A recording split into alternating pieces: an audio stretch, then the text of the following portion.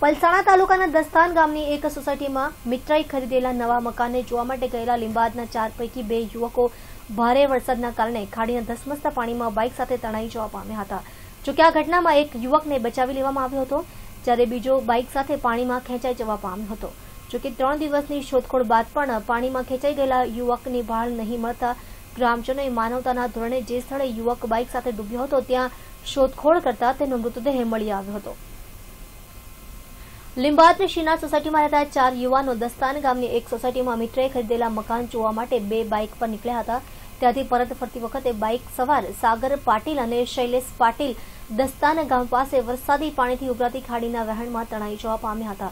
જોકે આ વખતે સ્થાનિક લોકોએ સાગર પાટીલને બચાવી દીધો હતો, જ્યારે શૈલેષ પાટીલ પાણીમાં ખેંચાઈ જવા પામ્યો હતો. જોકે આ ઘટના બાદ કડોદરા અને સુરતના ફાયર બ્રિગેડના લાશ્કરોએ બે દિવસ સુધી શોધખોળ કર્યા બાદ પણ તેનો પત્તો મળ્યો ન હતો. જોકે સ્થાનિક ગ્રામજનોએ ત્રીજા દિવસે માનવતાના ધોરણે જે સ્થળે શૈલેષ પાટીલ ડૂબ્યો હતો, ત્યાં શોધખોળ કરતા માટીની ભેખડ પડવાથી નીચે દટાઈ ગયેલા શૈલેષ પાટીલનો મૃતદેહ મળી આવ્યો હતો.